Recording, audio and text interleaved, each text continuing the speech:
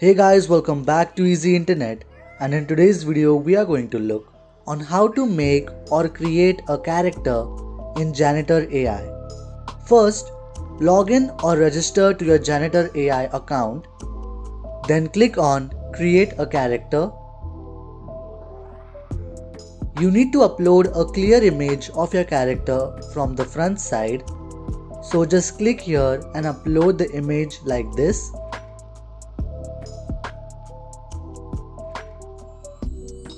Type in your character name here. Type in the chat name. I am going to keep the same name. Type your character bio here like this.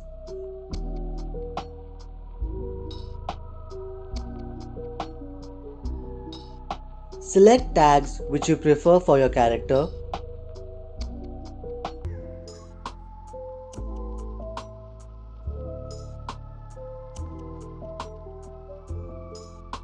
Choose whether you want your character to be published privately or publicly. Choose the content rating. Describe the personality of your character here. Describe the scenario or situation your character is in.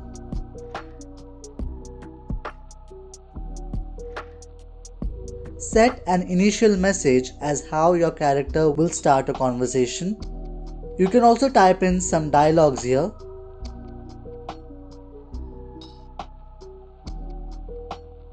You can keep this as it is and click on create character.